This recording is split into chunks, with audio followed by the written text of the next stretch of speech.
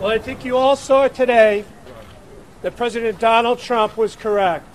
There is no evidence that Mr. Manafort or the Trump campaign colluded with the Russian government. Mr. Manafort represented pro European Union campaigns for the Ukrainian. And in that, he was seeking to further democracy and to help the Ukraine come closer to the United States and the EU.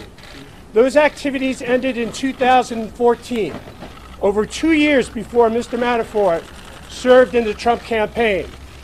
Today, you see an indictment brought by an Office of Special Counsel that is using a very novel theory to prosecute Mr. Manafort regarding a FARA filing.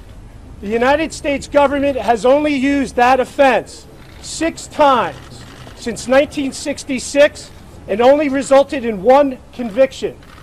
The second thing about this indictment that I myself find most ridiculous is a claim that maintaining offshore accounts to bring all your funds into the United States as a scheme to conceal from the United States government is ridiculous.